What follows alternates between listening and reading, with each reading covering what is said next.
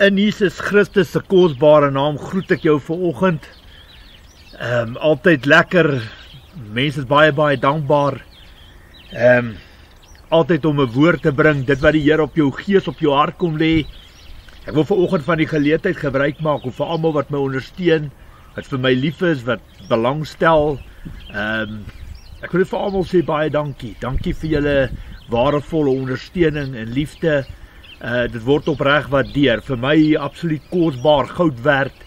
En uh ja, aan die Here kom al die lof en eer toe. Vanoggend ehm um, in my Bybelstudie, my Maandag het maar bietjie lekker vinnig begin. En uh die Here druk op my hart vanoggend 'n paar dingetjies wat ek graag uh met julle ook wil deel. En ek wil nie lank praat nie. Ek wil hê jy moet die handbriek in jou lewe optrek. Ek wil vanoggend vir jou sê dat hierdie woord is absoluut kragtig. Dit is massief. En wie wat al hoe jy daarna kan luister as jy vir jouself spasie maak, die handbriek optrek, selfone afsit, vir jou vir jou plek maak vir kalmte en rustigheid om te hoor wat die Gees van God, die Heilige Gees deur my na jou toe spreek. In my vorige leerstelling uh, wat gegaan het oor daar's net een verloder en dis natuurlik Satan en al sy bose magte het ek hard afgekom veral oor mense wat finansiëel sterk is, wat skatryk mense is wat wat absoluut lewe of daar nie arme mense is of daar nie weeshuise is nie of daar nie uh ouer huise is of daar nie weduwees of daar nie kerke is of daar nie armes is nie. En uh ek wil vandag baie baie duidelik maak. Luister baie mooi wat ek vir julle sê. Ons moet nooit afgunstig wees, ons moet nooit jaloers wees nie. Ons moet mekaar met wysheid kan bedien. En die woord sê tog in 1 Korintiërs 12 uh vers 26 as een dit lei lei almal saam. Verstaan my en en as een goed doen voorspoedig is, moet ons saam tog saam met mekaar bly wees ook daarvoor. En ek wil vandag vir julle sê daar's absoluut absoluut niks verkeerd. Niks verkeerd. Niks absoluut niks verkeerd om finansiëel sterk en voorspoedig te wees en ryk te wees nie. Maar dit gaan oor wat jy doen hoe jy lewe. Vertaai as jy syna sit jy in 'n hoek en bou jouself met met mure toe en worry net oor jouself, jou eie belange. Of as jy 'n persoon wat 'n verskil maak in die gemeenskap, uh uh verstaan, onthou die die linkerhand moenie weet wat die regterhand doen nie. Wat doen jy vir 'n ander? Wat doen jy vir jou ouers? Wat doen jy vir jou skoonouers?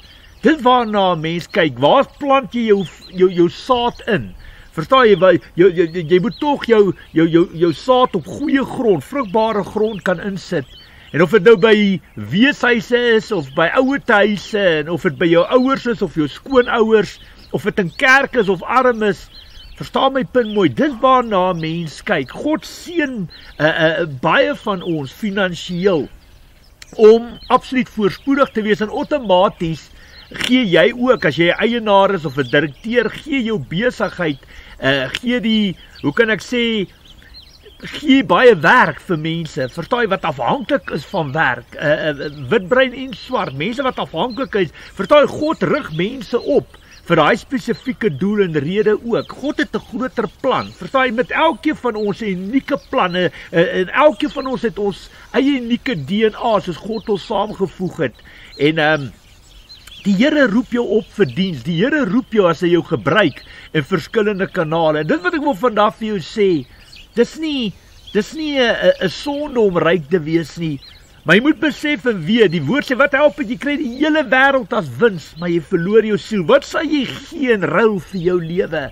Dit is baie belangrik. Die Bybel maak dit baie baie sterk en en en, en die die die woord is hard en duidelik. Hy die vermaanings en die waarskuwings is daar dat geld die wortel van baie kwaad is en jy moet nooit laat mammon op die troosstoel van jou hart sit nie. Dit gaan oor wat jy vir ander mense doen en met watter hart jy dit doen. Verstaan jy? Soos ek vir julle in my vorige leerstellings die eise van disippelskap ook sê, jy kan vandag omdraai as jy biljoene in jou rekening het en jy kan die hele wêreld elke dag kos gee. Dit is nie noodwendig God se perfekte wil en doel nie, want baie mense soek jou geld, hulle soek nie Jesus Christus nie. En dis hoekom mense altyd fokus op die een liggaam van Christus. Jy kyk na jou medebroers en susters, mense wat in dieselfde God as jy glo, mense wat die die dieselfde hart vir mense het wat verstaan waaroor dit gaan. Ek bedoel Jy weet wat, nee, as jou medebroers en susters swaar kry of hulle het nie kos of klere in die huis en hulle hulle loop regtig na baie pad saam met 'n kerk of 'n selgroep of 'n bediening, is dit is ons werk, is ons om mekaar op die hande te dra, kyk vir werk vir die persoon of wie wat as hy nie kombers het en hulle gaan deur 'n moeilike tyd moet ons mekaar kan dra. Dit is waaroor gaan, die liefde vir God en die liefde vir jou medemens, die liefde vir jou naaste. Maar om te besef en weet dat jou medebroers en susters Matteus 12:46 tot 50 sê die Here wees Jesus se moeder, wees sy broer, wees sy susters, almal wat die wil van God doen. En ek wil vandag iets aan julle verduidelik. Ek wil hê julle moet regtig die selfone afsit, die handbriek in jou lewe optrek en ek gaan hierdie kort en kragtig so ek gaan so gou as moontlik spreek om hierdie harde woord wat op my hart lê na jou kant toe te bring. Luister die woord wat die Here vanoggend vir jou gee. Daar's twee skrifte wat die Here op my hart kom lê om met julle te deel vandag. En die eerste skrif is Hebreërs 13 vers 8. Luister baie mooi. Jesus Christus is gister en vandag dieselfde tot in ewigheid. So God is gister, vandag, môre altyd dieselfde tot in aller ewigheid. Hy verander nie. Alraai, so soos God was in die eerste dag wat hy die skepping gemaak het tot waar ons vandag is. God bly dieselfde. Verstaan jy? Hy's gister, vandag, môre altyd dieselfde. So ek lees weer daai skrif. Hebreërs 13 vers 8. Jesus Christus is gister, vandag, uh, gister en vandag dieselfde tot in ewigheid. So hy's hy's gister, vandag, môre altyd dieselfde. Dis die God wat ek en jy aanbid en dien. En dis hoekom ek altyd vir mense leer om terug te gaan na die basics toe. Ons is 2000 jaar plus verby Jesus Christus se kruisiging wat hy sy lewe vir ons afgelê het, opgeoffer het en van daar af het die lewe verskriklik verskriklik baie verander. Die wêreld het meer modern geword. Ons ry nie meer op donkies en perde na na Kaapstad toe en Durban toe. Ons ons vlieg en ons ry trein en ons ry busse en ons het ons eie voertuie. So die lewe word moderner. Maar dit kom ook daar's 'n positiewe in en negatief soos die internet byvoorbeeld. Die internet het sy voordele, maar het ook sy nadele en ons moet wakker wees, wakker slaap vir daai tipe dinge, maar net om terug te kom by rykdom. Ek wil nooit die idee gee dat mense dink Jy is afgunstig op mense wat finansiëel sterk is. Jy gewerk het daarvoor en jy werk hard vir dit wat jy het en God het jou geseën met wysheid om 'n goeie lewe te kan maak. Mag die Here jou nog baie baie meer seën wat dit aanbetref, maar mag God se perfekte wil en plan natuurlik in jou lewe geskied. Maar iets wat baie sterk op my hart druk om vandag met julle te deel is hierdie tweede skrif wat die Here vir my gegee het. En ek wil regtig hê jy moet jou oë toemaak. Uh sit af die selfone, maak vir jou spasie om te luister wat ek hier vir jou lees. Luister baie baie mooi. Hier's soveel verskriklik baie lewenslesse in hierdie in hierdie uh skrif wat die Here vir my gegee het. En ek lees ver oggend vir julle Die tweede skrif wat ek ontvang, onthou God is gister, vandag, môre altyd dieselfde. So dit is baie belangrik dat ons weet waar God vandaan kom en die fondamente, die basics van ons geloof. Ons weet ons dien 'n God wat met Moses dieselfde is, wat met Noag dieselfde is, wat met uh uh Dawid dieselfde is, met Jesaja, met Paulus, met Jesus, met Filippus, Stefanus. Verstaan, dis die God wat jy aanbid en dien. So God is nie 'n God wat verander nie. Dis die mens, dis die wêreld wat wat om ons verander. Alright, so baie belangrik hou daai as 'n basis in jou agterkop binne jou hart. En dan die volgende skrif wat ek nou gaan lees. Luister baie mooi, die lewenslesse. Hierdie goed het die Here baie baie sterk vir oggend op my hart gedruk. Luister baie mooi. Ek lees dit vir julle. Matteus 19 uh eh, vers 16 tot 30. Luister baie mooi. Hierdie die opskrif daar is die ryk jong man. Alraai, baie van julle is ryk. Baie wat vandag dan by luister is is finansiëel wel af en goed gestel. Luister, luister. Kyk, kyk hoe kom hierdie persoon, hierdie jong man na Jesus Christus toe. En net so kom baie Christen, baie ryk mense op my pad ook of hulle wit brein of swart is of hulle jonk is of hulle oud is. Luister na hierdie daar's waardevolle lewenslesse om te leer uit hierdie uit hierdie kragtige woord van God. Hy luister baie mooi. Daar het iemand na hom toe gekom en gesê: "Meneer, watter goeie daad moet ek doen om die ewige lewe te kry?" Hy het vir hom gesê: "Waarom vra jy my uit oor wat goed is? Uh, daar is net een wat goed is. Maar as jy die ewige lewe wil ingaan, luister mooi, as jy die ewige lewe wil ingaan, onderhou die gebooie. Alraai kragtig, 'n absolute sit dit in jou hart. Onderhou die gebooie. As jy ewige lewe wil gaan, onderhou die gebooie. Die 10 gebooie, baie belangrik, dit is die basis van die Christen geloof, die fondamente van die Christen geloof. Luister baie mooi. Kom ons gaan aan. Vers 18. Watter gebooie bedoel u? Het hy vir hom gevra. Jesus het gesê dit. Jy mag nie moord pleeg nie. So dit sluit oorlog in, dit sluit abortus in, dit plei dit dit dit dit sluit genade dood in. Dit sluit uh uh uh hoe kan ek sê ja, dit dit dit sluit genade dood, abortus, selfmoord, enige moord, dit sluit dit in. Luister mooi, jy mag nie moord pleeg nie. Alraight, jy mag nie egbreek pleeg nie. Jy mag nie steel nie. Jy mag nie vals getuienis aflê nie eer jou vader en jou moeder en jy moet jou naaste lief hê soos jouself. Dit alles het ek nagekom. Hoor wat sê hierdie jong man vir vir Jesus Christus. Dit alles het ek nagekom. Het die jong man gesê. En watter opsig skiet ek nog tekort? Alraai, nou wil hy hy wil hoor of daar nog 'n tekort in sy lewe is. Luister mooi wat Jesus hier sê. Jesus het hom geantwoord: As jy volmaak wil wees, my liewe broer, suster, vriende, vriendin, familielid, wil jy volmaak wees? Is dit jou strewe om God te geregtigheid en heiligheid aanbid te dien? Luister hier, luister wat sê Jesus Christus vir daai jong man.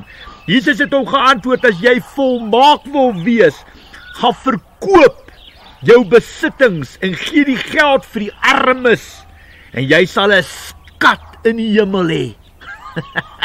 ongelooflike skrif. Kom dan terug, sê hy vir daai jong man en volg my.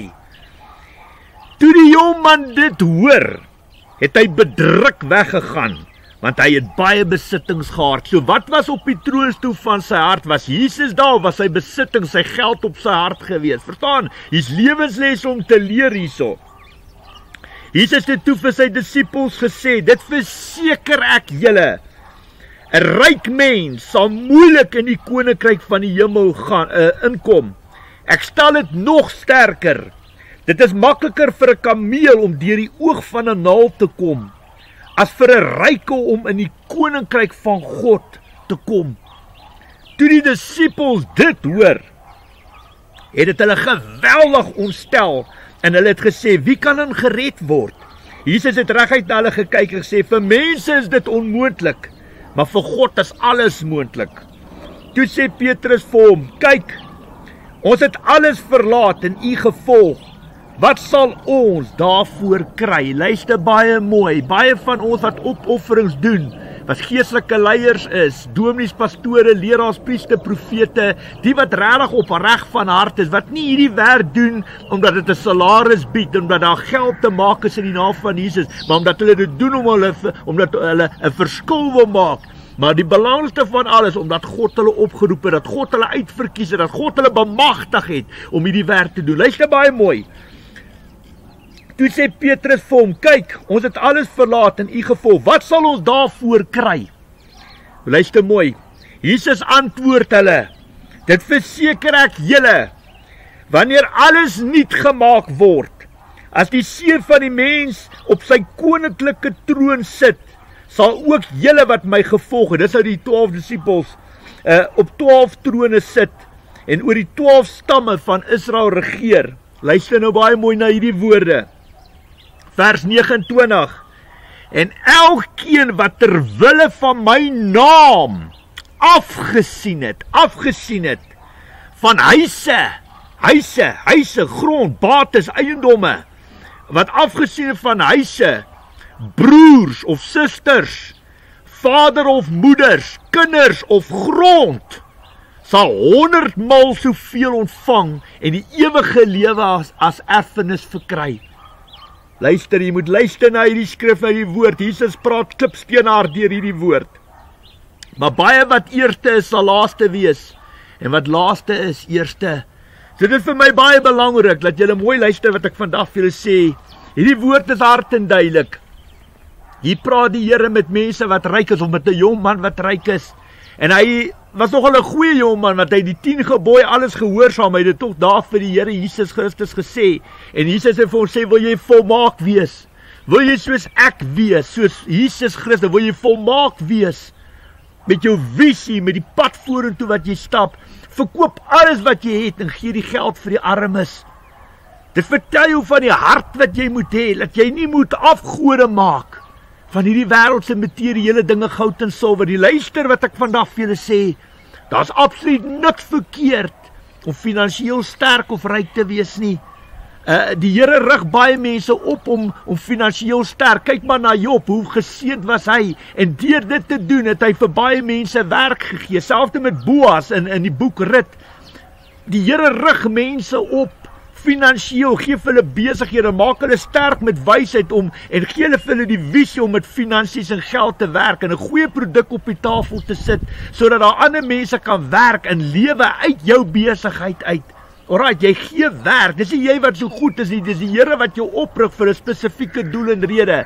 Maar jy moet altyd respekvol wees en dankbaar wees en besef en weet, dit kom met groot verantwoordelikheid. En jy moet sorg dat die mense wat om jou werk, wat saam met jou werk, die geleentheid en die kans kry om die Sabbatdag van die Here te respekteer. Jy kan dit nie op hulle afforceer nie, maar jy kan genoeg geleentheid en kans dat die Here nie môre voor jou staan en sê, "Maar wie wat, jy hierdie mense wat onder jou gewerk is. Jy het hulle so dat werk, hulle het nooit kans gekry om 'n Sabbatdag. Hulle kon nooit afvat op 'n dag nie, want jy het hulle so laat werk omdat geld jou god was, omdat jy 'n slawedrywer is, omdat jy gierig is omdat geld jou afgod was. Jy wil nooit daarop eindig. Dis so baie belangrik, twee baie belangrike lewenslesse volgens in die skrif wat die Here vir ons gee. God is gister, vandag, môre altyd dieselfde. Alraight, Hebreërs 13 vers 8. En dan natuurlik hierdie skrif wat ek nou gelees het, wat die Here vir jou vir elkeen van ons die produk op die tafel gee of vir jou te sê wil jy volmaak wees. Ek wil hê julle moet die hart van Jesus Christus voel. Julle moet dit proe, julle moet dit ervaar, julle moet sien deur God se oë na hierdie wêreld kyk en besef die Here wil nie hê ons moet laat goud en silwer en materiële dinge en geld op ons harte sit nie. God wil hê ons moet die lewe geniet. Ons moet dankbaar wees, ons moet ons vrou, ons kinders, ons dit wat hy vir ons bied, ons werk, ons Alles wat hy vir ons gee, moet ons voor dankbaar wees. Maar God moet altyd op die troos toe van jou hart sit. Jy kan absoluut niks op hierdie aarde vir afgod nie. En dit sluit jou man, jou vrou, jou kinders in. Dit sluit jou bosplase, jou strandhuise in. Dit sluit jou besighede, jou werk en jou sakke vol geld, jou polisse. Alles wat na in die hart is, stokperdjies. Verstaan my punt baie baie mooi. God wil Jesus wil die wil die eerste plek op jou hart hê. Hy wil op die troos toe van jou hart sit. En dit wat ek wil vandag vir sê, geniet die lewe hier buite. Maar sorg dat Jesus Christus altyd op die troos toe van jou hart sit en sorg elke dag dat jy reg is as Jesus jou kom haal, dat jy weet waarheen jy gaan. Ek wil vandag vir julle sê As jy fisies opgeroep word deur die Here om 'n werk te doen of dit 'n apostel is of dit 'n evangelis is of dit 'n profeet soos in my geval is ek 'n ek is 'n apostel. Dis wat die Here het my ek het apostelskap. Ek het ek is 'n apostel, is ek opgeroep vir die Here waar mense soos om Angus Baggen byvoorbeeld 'n evangelis is. Verstaan jy dit hang af hoe die Here elkeen op 'n unieke plek en doel wat die Here iemand gebruik. En ek wil vandag vir jou sê dat luister baie baie mooi wat ek vandag na die tafel toe bring. God bemagtig jou om iets vir hom te doen. Hy gee jou die opdrag, hy roep jou op, hy bemagtig, hy gee jou die gesag, autoriteit. Jy kan nie jouself oproep en dinge sê en doen hier buite wat God jou nie opdrag gegee het nie. En dit is wat ek probeer vandag sê. As jy 'n dominee of 'n pastoor is of 'n predikant of 'n leraar of wat jy ook al in watter bediening of selgroep of kerk, watter dominasie jy ook al is, Jy moet kan gaan staaf met die enige van Christus of God jou opgeroep het ja of nee. Dis my raad aan jou. Ek kan jou nie verander nie. Ek kan jou ook nie 'n stok in 'n rigting inslaan nie. Ek kan jou ook nie met klippe in 'n rigting ingooi nie. Maar ek kan vandag die brood wat uit my hart is, is kan ek vandag vir jou gee. En ek kan vandag vir jou sê gaan doen huiswerk. Gaan maak 100% seker dat die God van Abraham, Isak en Jakob, die die drie-enige God, Vader, Seun en Heilige Gees, dat hy jou opgeroep het en jou bemagtig is vir dit wat jy tans doen. Alraai baie belangrik, God het my altyd geleer om ander mense te respekteer of jy 'n drom slaan in 'n kerk of jy 'n fluit speel of jy klavier speel of jy orgel speel of jy 'n uh, preek en of jy 'n uh, 'n uh, uh, deel is van die kerkraad, van die bestuur, die besluit van die kerke. Ons moet mekaar respekteer, ons moet vir mekaar bid, konstant bid, bid vir mekaar. Maar dit is belangrik dat ons ons opdragte van die Here afkry. Laat dit wat God jou opgeroep dat hy dit staaf en bevestig deur die stem van die Heilige Gees. Want dit waaroor die een liggaam van Christus gaan, daai eenheid, 1 Korintiërs 1 vers 10. Dit vir God belangrik dat ons eensgesind is. Daar moenie verdeeldheid tussen ons wees nie. Nou luister baie mooi wat die Here vanoggend op my hart sit. Ek wil hê jy moet asemhaal. Maak vir jou koppie koffie. As jy nie koffie drink nie, trek jy handbriek op in jou lewe. Ek wil hê jy moet stilte vir jou kry en jy moet baie mooi luister wat ek nou vir jou sê. En verskoon die diere wat so blaf en praat. Ou die duiwel hou nie daarvan ek bring hierdie woord nie. En partykeer probeer hy 'n mens op so 'n manier probeer hy 'n mens ontwrig en ontseën nie. Maar dit gaan oor wat uit my mond uitkom, wat die produk lewer. Dit is wat waarde dra. Hy's te baie mooi wat ek nou gaan sê. Jesus Christus is jou rolmodel. Alrite, ons fondament is gebou rondom Jesus Christus. En uh die heiliges van die Allerhoogste is mense wat uh die wat vas aan die getuienis van Jesus Christus wat hy op aarde vir ons almal kom doen het wie wat hy is maar ook op die 10 gebooie die basis van die 10 gebooie. Baie baie belangrik dis die basis van die Christen geloof. Nou luister baie baie mooi Ons lewe in 'n wêreld, alles raak modern. Hier's soveel invloede, slegte invloede hier buite, slegte vriende, vriendinne, 'n uh, konstante kontak met familie en en en en en selfvalse broers en susters. Hier's baie uitdagings. Verstaan jy as jy kyk na die wêreld politiek gewys, jy sien hoe roer sat aan die pot van geweld, haat en misdaad. Nie net in Suid-Afrika, maar in die res van die wêreld. En wat die Here sterk op my hart druk om vandag vir julle te sê om die om hierdie boodskap op op die ouene van die dag saam te meng en na jou toe te bring vandag is Jesus is jou rolmodel. Alraight, en kyk rondom hom elke disipel wat saam met hom beweeg het, elke apostel. Kyk na Simon Petrus. Kyk na sy lewe as jy wil hemel toe gaan. As jy vandag sê hierso is my Bybel, hierdie is my kontrak, hierdie is my fondament, riglyn en kompas. Ek lewe volgens hierdie Bybel wat ek wil baie graag hemel toe gaan. Dan moet ons terugbeweeg na die basics toe al bly. Al lewe ons 4000 jaar nadat Jesus gekom het. Hoe nader ons kom aan die tye van die merk van die dier en al die tipe hoe ernstiger gaan die aanslag te wees op die Christen kinders van God, op die heiliges van die Allerhoogste. Vertaai, daar gaan 'n tyd kom wat wat om God met die mond te dien en nie met die hart nie, jy absoluut niks niks in die sak gaan bring. Jy gaan absoluut teen 'n teen 'n muur vashardloop. En dit wat ek wil sê, wat die Here op my hart druk en ek hoop ek bring hierdie boodskap sterk uit my gees uit my hart so die Here so sterk as wat hy dit op my hart lê. Jy moet vir Jesus Christus hier waar jy sit vandag, wat jy alles afgesit het, net kalm en rustig en luister na my. Kyk na Jesus Christus in jou geestes oog wat jy ervaar, wat jy geleer het van hom, wat jy ken van hom, hoe hy was, kyk na sy lewe. Baie belangrik. Dan kyk jy na manne soos Simon Petrus. Dan kyk jy na manne soos Paulus. Dan kyk jy na manne soos Stefanus, Filippus, Jakobus, Johannes. So kan jy aangaan daai hele van Handelinge af, kan jy die Bybel deurwerk. Jy kan kyk na die eerste Christen, hoe daai mense geleef, hoe hulle mekaar bygestaan, hulle grond, hulle eiendom, hulle bates verkoop om die werk van die Here te befonds en te ondersteun. En wat ek vandag vir jou wil sê, luister baie baie mooi na my. Luister. Jesus Christus, jy wil hemel toe gaan. Jy wil in die voetspore stap van Jesus Christus. Jy wil 'n verskil maak op 'n unieke manier wat die Here vir jou gee. Al is dit met 'n instrument. Al is dit met 'n goeie beroep en werk. Miskien het jy 'n sterk besigheid. Jy gee vir baie mense werk. OK. Jy verheerlik God op 'n unieke manier wat hy vir jou mee geseën het, waar hy jou geplaas het. Verstaan jy? En dieselfde vir ons wat opgeroep is. God roep jou op vir 'n spesifieke doel en rede. Maar luister vir my. Die fondament van die Christen geloof moet jy altyd terugbeweeg na die basics toe. Ons lewe 2000 jaar plus na Jesus Christus se kruisiging. Nadat hy gekom het, nadat hy pad saam met ons gestap het. Luister wat ek vandag vir julle sê. As jy moet altyd sy belang op die hart dra. Jy moet kyk. Uh, God is onthou ek het nou vir julle gelees. God is gister, vandag, môre altyd dieselfde. Onthou dit altyd in jou lewe. God verander nie. Dis die dis die mens wat verander. Dis jy wat verander. Dis die wêreld wat verander. God verander nie. En as jy God wil behaag, die God van Abraham, Isak en Jakob, die God wat daar bo op die troonstoel sit met die met die scepter in die hand wat hy besluit staan vas as ons God spreek as sit in die hemelliggame hier buite. As jy hom wil behaag moet jy op die fondamente bou van Jesus Christus.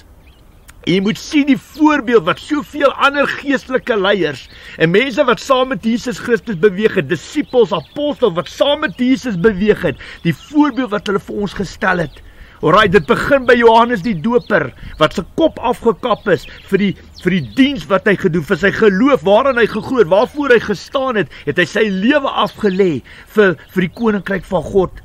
En so het ons dit gesien met Jesus Christus ook. So het ons dit gesien met Simon Petrus en Paulus wat daai man deur is vir die koninkryk van God. Hoeveel aande honger gaan slaap in die koue geslaap het, skibreek gelei het, in tronke opgesluit is, gehaat is, Ek wil vandag vir sê luister hierso.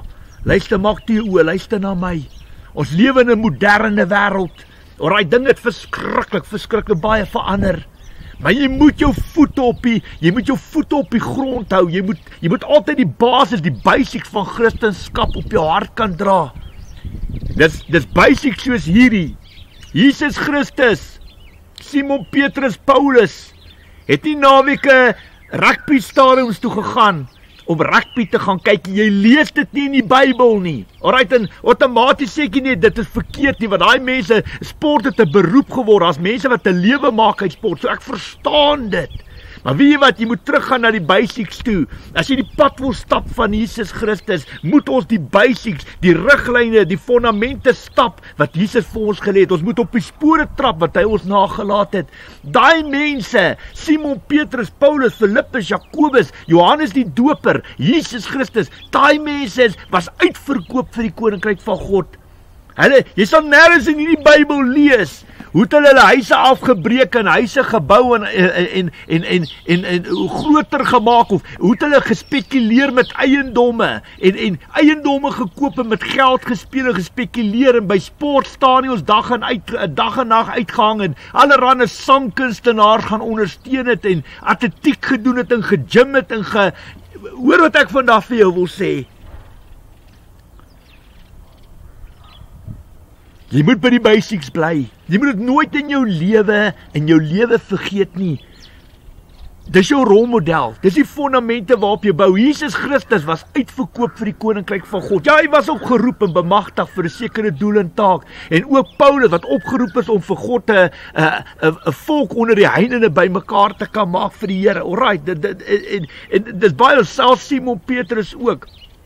Ons moet verstaan en weet as jy daai mense sien, daai mense het geen privaat lewe. Jy het nooit gehoor hoe hulle by neefs en ooms en niggies gaan kuier nie. Jy het nooit gehoor hoe hoe hoe lewe hulle vir hulle eiendomme, hoeveel huise hulle gekoop het, hoeveel sakke geld het hulle gehard en en uh, uh, verstaan my punt baie baie mooi. Hulle het van hierdie wêreld absoluut niks gemaak nie. Ja, hulle was dankbaar vir wat hulle het. Hulle was dankbaar vir wat hulle het. Maar wie wat hulle niks op aarde vir afgod nie. En dit wat ek wil vandag vir jou sê, daai mense, die voorbeeld wat hulle vir ons wys, selfs die eerste bekeerdes in die Bybel, het vir ons gewys, hulle het niks op hierdie harte vir afgod nie. Hulle het hulle eiendom, hulle grond, hulle plaas, hulle huise verkoop om die werk van die Here te befonds. Hulle het die dag en nag in shopping malls uitgehang en het sakke vol klere en horlosies en juwele en allerlei materiële goud en silwer op hulle harte gedra vir afgod en gekyk wie kan die beste kar ry, wie die beste huis, wie, wie kan nog meer spekuleer en en sodat hulle 'n klomp alles wat lekker is in die lewe, die roem van die lewe opbou ten koste van hoeveel mense anders hulle het gedien Almal van hulle kyk hulle in die Bybel, hulle almal het gedien. En dit wat die Here sê, as jy wil eers te staan in die koninkryk van God, moet jy bereid wees om te dien, nederig sagmoedig te wees soos Jesus bereid om voete te was. En dit wat ek wil vandag vir jou sê, as jy arm is, jy kan niks bied in elk geval, dan is jy eintlik op 'n baie beter plek. En dis hoe die Bybel jou beskryf, want jy kan nie geld en materiële dinge vir afgod nie, want jy het niks nie. Verstaan jy, dit gaan oor jou geloof die impak wat jy maak met die mense wat rondom jou wat wat rondom jou beweeg En dit ook wil vandag vir jou sê As jy finansiëel sterk is en ryk is, maak 'n positiewe verskil. Weet jy wat net daar's weduwees, daar is ouer huise, daar's weeskinders in en en en hoe kan ek sê weeshuise, daar's kerke, daar's mense wat afhanklik is van ondersteuning. Ek weet waarvan ek praat. Ek is 10, 11 jaar in die bediening. Almal sien dit nie altyd so nie. Maar ons moet mekaar bou en ons moet altyd oppas. Dit al hoe kom ek hierdie woord bring is omdat soms voel vir my dit gaan alles vir ons mense oor wat jy het, hoe baie jy het, wie die beste het, wie die meeste het, wie die enigste het en second place sucks. En weet jy wat, ek wil vandag vir julle sê, volgens hierdie Bybel, leer Jesus Christus vir jou, gaan verkoop alles wat jy het en gee jou geld vir die armes, dan jy 'n skatkis in die hemel bymekaar. Dan jy 'n volmaakte mens. En weet jy wat daai volmaakte mens, dit wat hy practice wat jy preach, verstaan jy? Dit dit wat die woord, jy uh, hoe kan ek sê jy must walk the talk. Het Jesus dit nie vir ons gewys nie. Hy het niks vir afgod. Jesus het niks gehard nie. Val toe in die bediening instap op 30 jarige ouderdom. Ja, sy hele lewe uitverkoop om 'n positiewe verskil in mense se gees en hulle harte te maak. En dit kom ons moet baie baie pas op. Jy weet baie mense wil die Here dien met 'n halfhartige hart. Weet jy wel hierdie kant wil jy hemel toe gaan, hierdie kant wil jy die Here aanbid en dien, maar jy wil dan jy wil jy wil jy wil jy wil jy wil 'n goeie lewe hê. En jy wat ons ons sit baie keer ons karre en ons huise en ons geld en ons polisse, ons kinders, ons mans, ons vrouens, alles wat ons het. Ons strandhuise en bosplase en bote en noem dit. Ons sit dit op ons harte. En ek wil vandag vir jou sê dit duidelik aan hierdie woord hoe lyk 'n volmaakte mens? Dit duidelik aan hierdie woord dat God die eerste op jou troonstoel van jou hart wil wees en dat jy niks op hierdie aarde moet veraf God nie. So ja, dis maar my woord, my boodskap. Gaan altyd terug na Jesus Christus toe. Gaan kyk na sy lewe, gaan kyk hiervoor. Jy sal nooit hoor hy dag en nag sport gaan ondersteun en rugby kyk en atletiek ondersteun en en tennis en allerlei goed nie. Weet jy wat, jy sal dit nie lees in die Bybel nie. En dieselfde met Simon Petrus en Paulus, hulle daai mense het nie gekyk hoeveel huise en strandhuise en bosplase hulle bou en hoe massief en groot hulle hulle huise kan uit. Verstaan my punt baie baie mooi vandag. Ek sê nie vandag hou op lewe nie.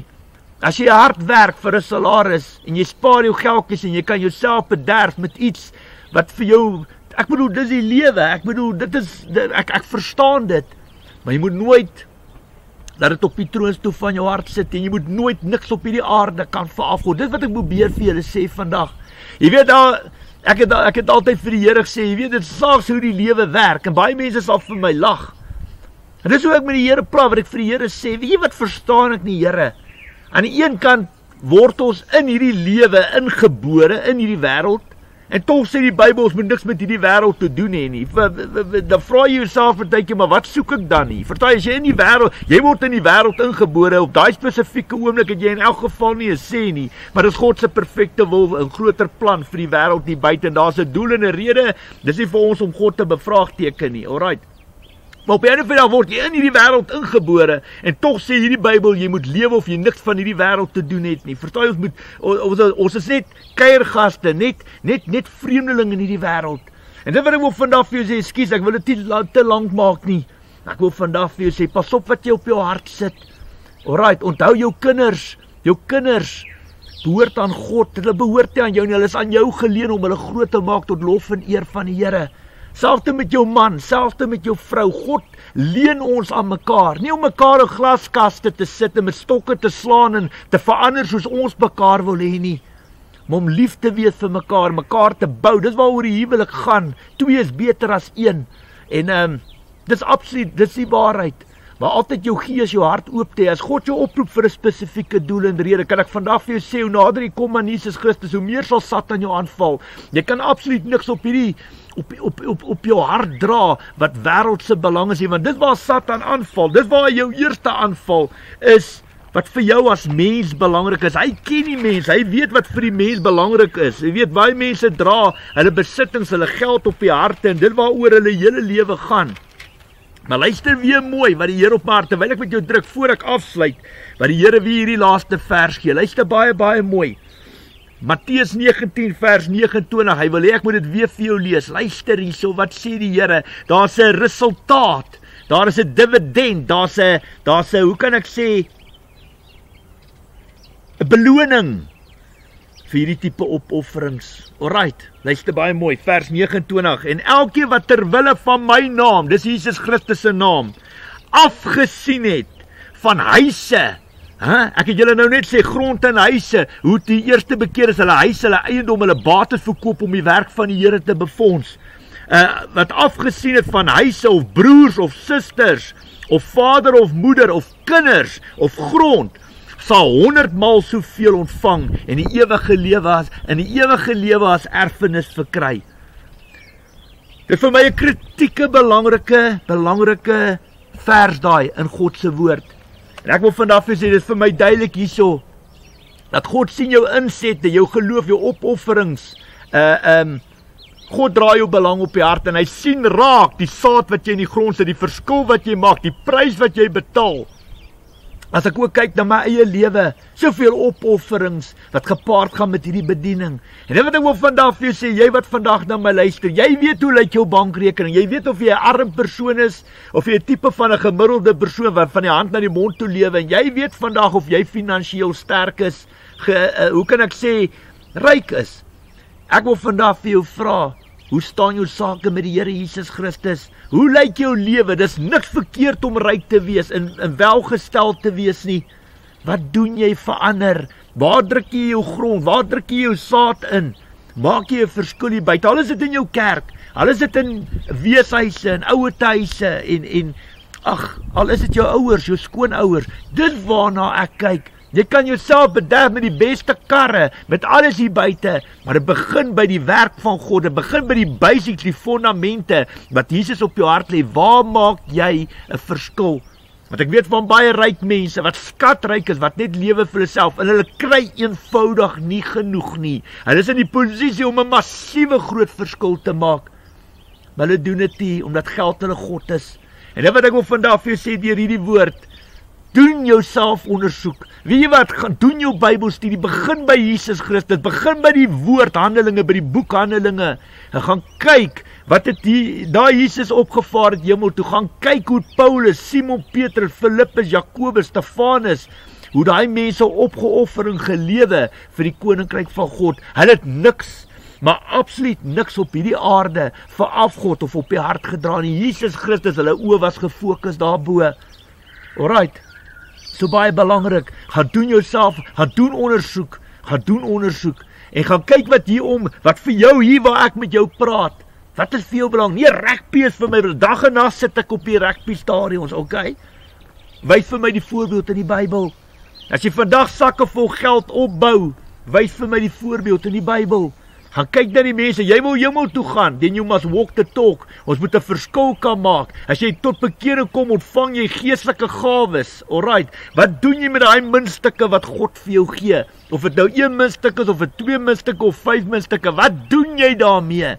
Lewe jy vir jouself? Bou jy vir jou muur om jou en jy het nie 'n saak met niks en niemand hier buite nie?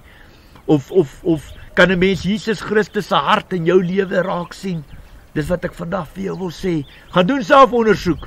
En onthou as jy vandag niks het nie, jy vandag is jy staan jy in die bediening, jy het alles in jou lewe opgeoffer. God sien dit raak. Dis duidelik aan hierdie skrif wat ek vandag geleer het. Onthou God is gister, vandag, môre altyd dieselfde. En dit wat ek almal vandag vir jou sê, die lewe gaan verander. Mense gaan verander. God verander nie. So as jy God wil please, as jy God wil gelukkig maak, gaan jy na die basics toe van hierdie Bybel. Alraight.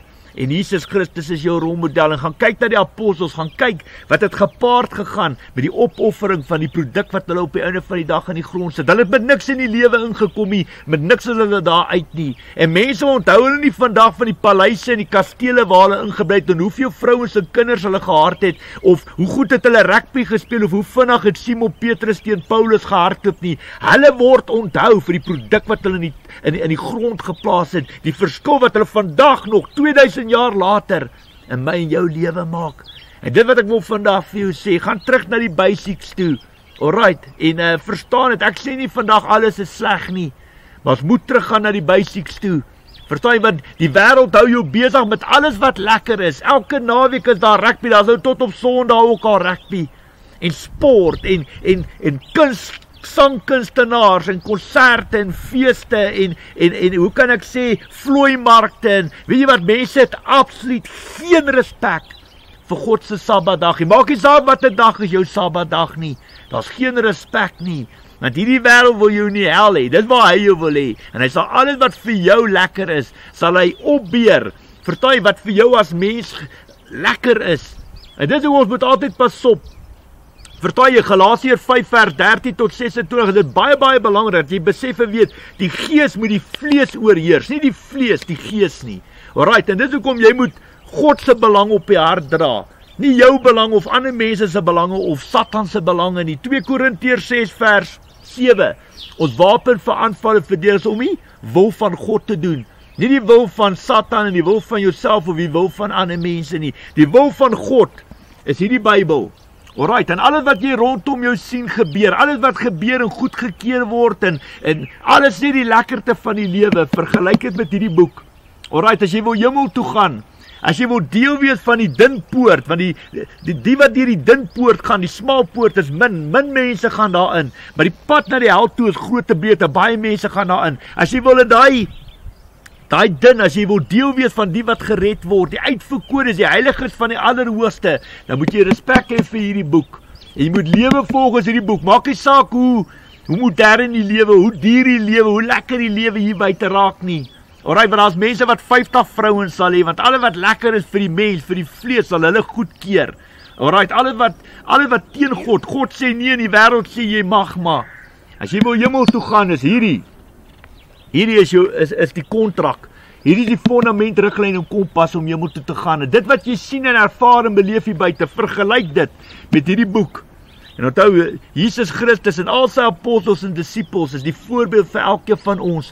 Jy sal nêrens in hierdie Bybel sien hoe hulle rugby gespeel of rugby geondersteun en atletiek gehardloop en komrits toe gegaan en hoe hulle dag en nag huise gekoop en gespekuleer en net gelewe vir hulself, hulle klomp strandhuise gebou en uh, dag en nag was dit net John en kuiers en familie saamtrek en alles gaan net lek. Daai mense was uitverkoop vir die koninkryk van God en daarvoor was hulle gehaat. Hulle was gehaat vir die werk vir die Here omdat hulle hulle eie ek eenkant geplaas het en gedoen wat God op hulle hart kom lê het. En dis al wat ek vandag vir jou wil sê.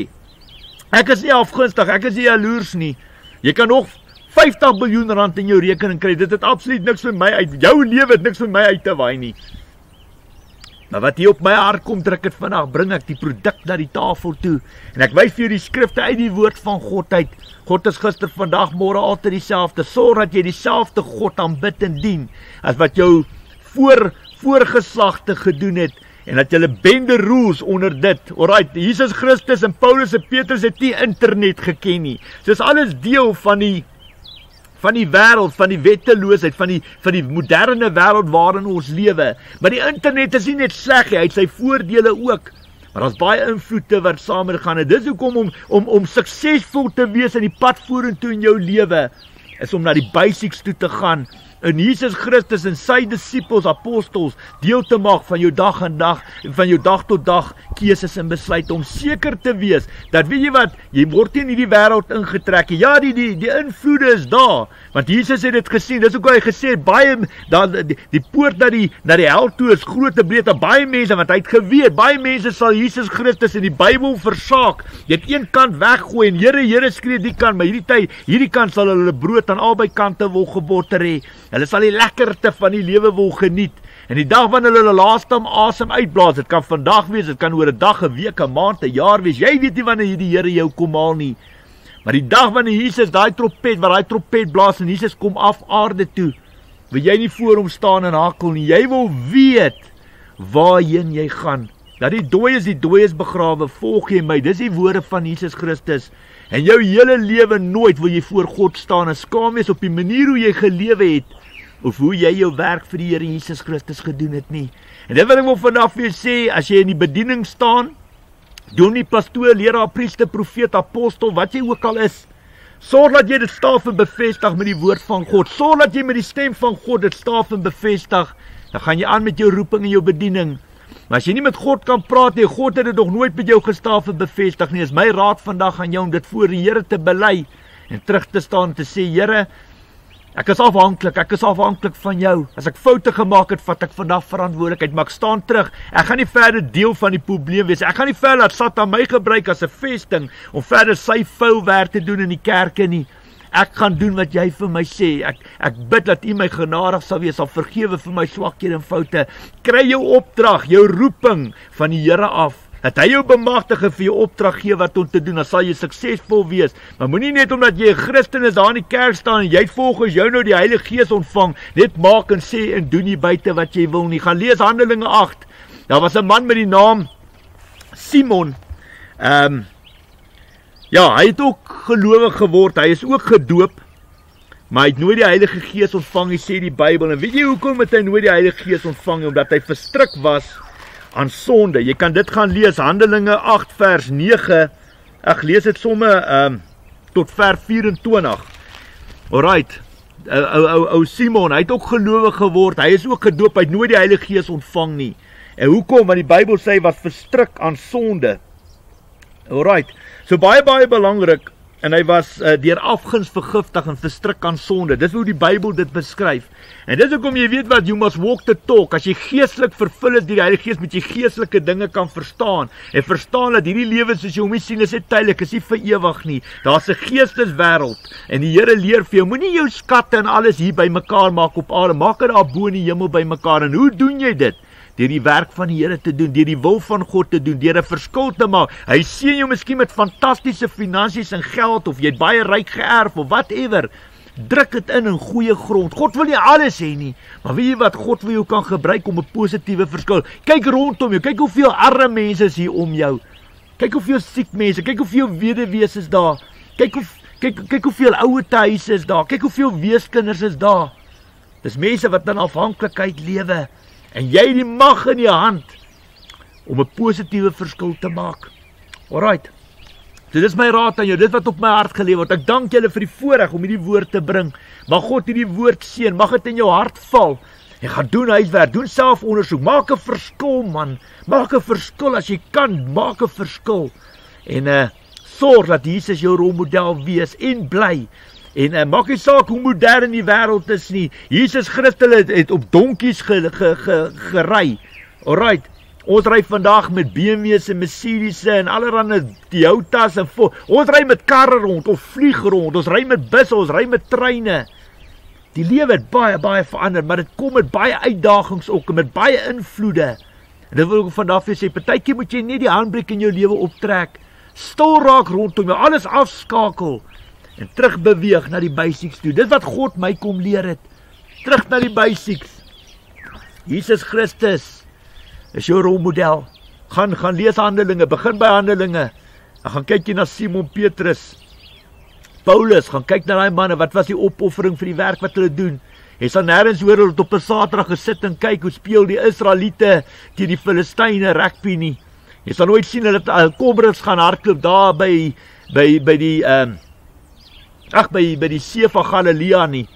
Verstaan my punt baie baie mooi. Jy sal nooit hoor hoe het hulle huise aangebou en gebou en gebou en geld gejag en en dag en nag gewerk om geld te maak. Jy sal dit nie in daai Bybel sien nie. Nou wil ek vir jou sê partykeer moet jy net stor daar. Maak nie saak wie en wat jy is. Jy kan 'n dokter, advokaat, ek weet nie wie jy is, wit brein of swart. Jy kan hoogmoedig wees, jy kan moeg wees, jy kan kwaad wees, jy kan opstandig raak, jy kan jou afvee aan my pla my nie wat jy van my dink nie op 'n van die dag, dis wat uit my mond uitkom wat saak maak. En uh, die Here is lief vir ons almal. Elke siel is vir God kosbaar en belangrik. Maar ons het geestelik is ons so blind te doof. Ons mense het so ver van die Bybel en van God weggeleef. Ons het so die wêreld ingetrek. En ek dink as jy die handbriek optrek en jy begin die Bybel nader skryf en jouself vergelyk met dit wat vir ons gegee is, dan gaan jy skrik, dan gaan jy besef, maar wie wat het ek regtig 'n vier verdieping huis nodig Het ek regtig nodig om met hierdie duur miljoens rand se kar te kan ry of kan ek vir my 'n 200 000 rand se karretjie koop? Sy werk is in elk geval om my na A na plan, na B toe te vat. Dis waar die waarvoor die kar is. Hoekom moet ek 1.5 miljoen rand vir 'n kar betaal as ek 200 000 rand vir 'n kar betaal? Hy vat my na dieselfde plek toe A na B. Die een is miskien 'n meer luxer en hy ry bietjie meer gemakliker, miskien meer krag. Maar die basics om terug te beweeg, beweeg na die basics toe vir jouself te vra, wanneer het ek genoeg gehad? Weet jy wanneer begin jy volwaardig lewe? Die dag wanneer jy op jou knieë kan gaan, God in die oë kyk en sê, Here, ek het alles wat ek wil hê. Ek is dankbaar, ek het niks meer nodig nie. Baie dankie vir alles wat U vir my gegee het. Daai dag begin jy volwaardig lewe. Hoor dit ek vandag vir jou sê, God kyk na ons. Hy sorg dat jy brood en botter op die tafel het. Hy kyk vir ons, hy gee vir ons iets om te drink, hy gee vir ons klere, hy bemagtig ons. En die sorges van die lewe, daai woord, daai skriflesing is hart en duidelik in die woord. Ons moenie onsself bekommer oor sulke goed nie. Die Here sal sorg, hy sal voorsien. Is ongelowiges, goddelose mense wat hulle bekommer oor sulke nonsens en wat hulle opbou en hoe hulle self kan vergelyk met ander mense rondom hulle. Ons is baie voor dankbaar te wees. Jy lig in jou longe. Jy het klere om aan te trek. Jy het 'n dak oor jou kop, jy het kos om te eet. Alles meer as dit is net 'n bonus van God af. Onthou dit altyd.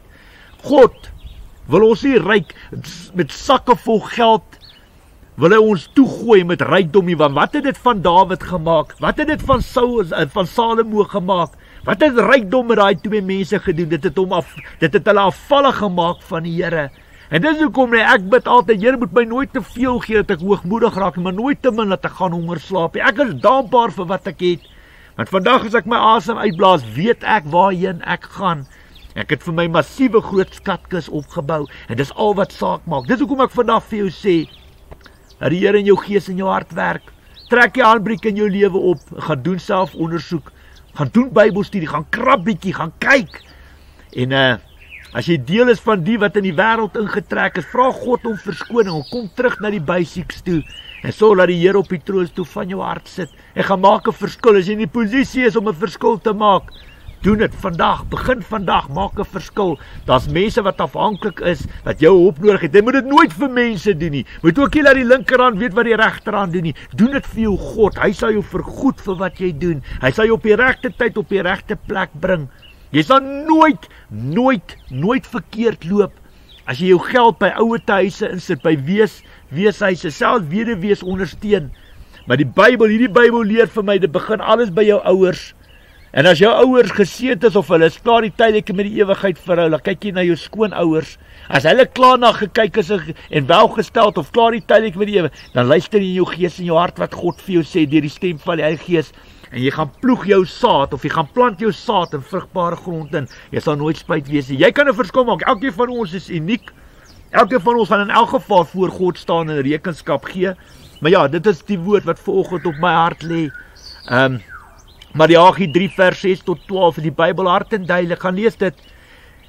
Is die enigste plek in die woord van God wat jy kan vir God toets of uit die venster van die hemel oor jou sal oopmaak en dis deur die tiendes wat jy insit in die huis van die Here in die werk van die Here wat jy inplant vrugbare saad wat jy God kan toets of uit die venster van die hemel oopmaak. Onthou dit altyd in jou lewe. God kyk wat in jou hart aangaan. Wie karig saai sal karig oes. As jy net lewe vir jouself, is jy meer as welkom. Maar dit is om te dobbel, verstaan jy? Dit gaan of werk vir jou of dit gaan as absoluut in jou gesig ontplof. Maar God soek die beste. Hy soek die wat uniek uitstaan bo alles en almal. Ons het ons het miskien nie altyd die roem van die lewe nie. Ek kan vandag vir sê ek ken my God. Ek ken vir Jesus Christus. Dit is 'n eer en 'n voorreg om God op hierdie vlakke te aanbid en dien. Vir ons om te lewe is Christus. Om te sterf is vir ons se wins. Ek prys die Here vir vrede. Shalom, vrede word vir julle almal toegewens. Dankie vir die luister. Ons gesels gou weer. Hoor, groetes. Praat weer. Bye bye.